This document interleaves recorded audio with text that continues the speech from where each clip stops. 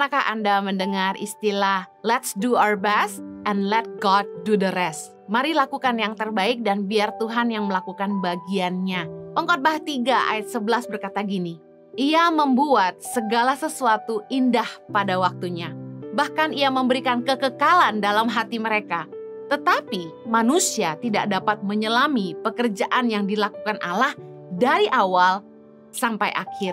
Saya percaya dari statement let's do our best and let God do the rest, ada benarnya bahwa seharusnya fokus kita itu melakukan yang terbaik yang kita bisa. Yang menjadi tanggung jawab kita adalah melakukan yang terbaik yang jadi bagian kita dan izinkan Tuhan yang melakukan bagiannya. Sebaik-baiknya kita berusaha. Ada hal-hal yang di luar dari kendali kita. Sebagai manusia, kita punya keterbatasan tapi kita punya Tuhan yang tidak terbatas dan kita harus menyadari bahwa ada hal-hal di luar kendali manusia yang menjadi kedaulatan Tuhan. Contohnya, siapa orang tua kita? Kita nggak bisa pilih bukan? Itu merupakan kedaulatan Tuhan. Kita lahir di mana? Dari suku apa? Itu merupakan kedaulatan Tuhan, bukan pilihan kita. Kemudian, kapan kita dipanggil pulang ke sorga? Kapan kita mati? Semua tergantung Tuhan. Bukan kita yang menentukan memiliki keturunan. Ada yang bilang, enggak Bu Heni, teknologi sekarang sudah bisa lewat IVF dan lain sebagainya. Saya mau katakan gini, saya dengar banyak orang-orang yang punya uang, mereka melakukan uh, bayi tabung dan lain sebagainya, tetap nggak bisa punya keturunan. Berkali-kali nggak jadi, berkali-kali nggak jadi. Kalau bukan Tuhan yang mengizinkan, saya percaya nggak ada seorang pun bisa punya keturunan karena keturunan itu upah dari Tuhan. Jadi kalau kita tahu ada hal-hal yang memang di luar kendali kita, kita tidak perlu kecewa, kita tidak perlu maksa. Karena semua ini dari Tuhan dan bukan dari kita, nggak bisa diupayakan oleh manusia. Beda dengan pasangan hidup, ada yang bilang jodoh kan dari Tuhan. Ya, tapi kita yang milih. Kalau jodoh itu dari Tuhan, harusnya Tuhan yang pilih buat kita. Ada orang-orang yang Ketika dia mencari pasangan hidup, dia berdoa dan minta kehendak Tuhan.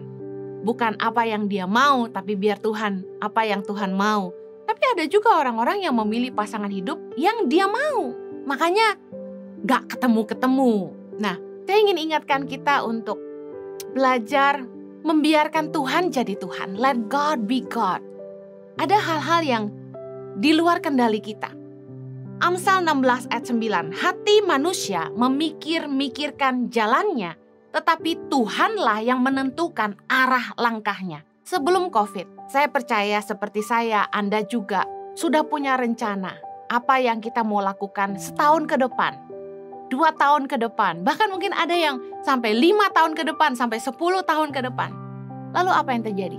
Ketika COVID melanda dunia, semua perencanaan kita gagal total. Semuanya batal. Jadwal pelayanan khotbah saya yang full sampai 2021 waktu itu juga berantakan. Semuanya batal. Kita harus belajar menyadari bahwa sepandai-pandainya manusia berusaha, eh, bagaimanapun kita mengupayakan hidup kita, kita harus mengerti bahwa kita harus belajar mengandalkan Tuhan. Kita nggak bisa selalu memaksakan kehendak kita. Seperti mengatur, hidup saya harus begini, hidup saya harus seperti itu. Kita cuma bisa lakukan bagian kita, lakukan yang terbaik.